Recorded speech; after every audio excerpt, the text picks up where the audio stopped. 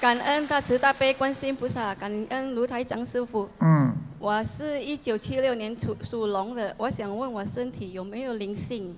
七六年属龙的是吧？对，有没有灵性？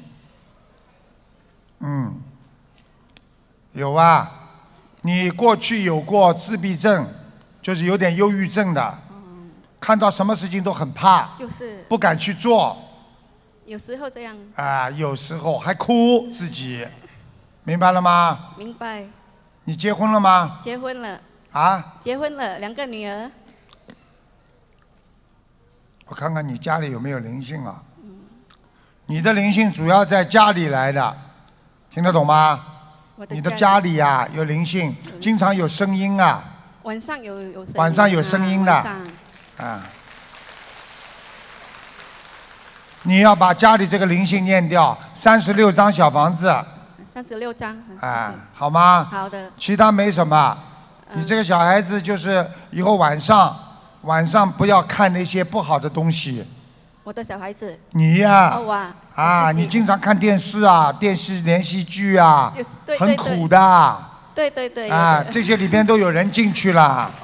所以你自己会心很慌，胆子很小啊，不要去看了，好好念经吧，听得懂吗？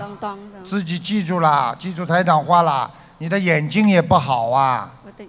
听得懂吗？最最近不怎么好。经常流眼泪，对。呃，对对对，师傅，我还想问，我以前有流产过的孩子，讲啊，师傅，我有流产过的孩子，是否什么流产过的孩子是否已经超度了呢？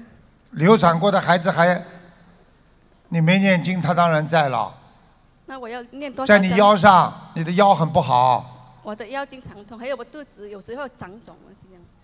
他是两个小腿夹住你的肚子，听得懂吗？听得懂。啊，他抱住你的腰，夹住你的肚子，所以你的肚子跟腰都不好，明白了吗？明白。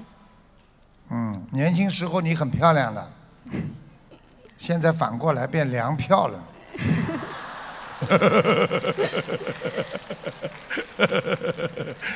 那我要念多少张小房子给我的呃啊，堕胎的孩子呢？小房子给孩子们，你就每人给他，每个你给家里小房子念呀，刚刚已经讲过了，好吧？其他没什么，小孩子给他们最好每天每人念一张。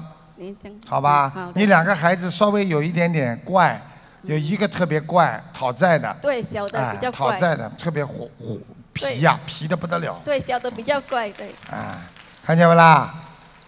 嗯，好啦，嗯，好的，谢谢。好好还有师傅，我有我想问我，嗯，家里的佛台怎么样？家里佛台啊，嗯，对，再往左移一点，再往左一点。啊，再往左一点。现在你靠着窗户嘛，啊，对。再往左面移一点点就好了。你家这个佛台位置不是太好，不是太大，明白吗？明白但是菩萨还是来过有的。有来过啊。嗯，你们家里就是，啊，还不错，地板，嗯，蛮好蛮好，嗯。还算好。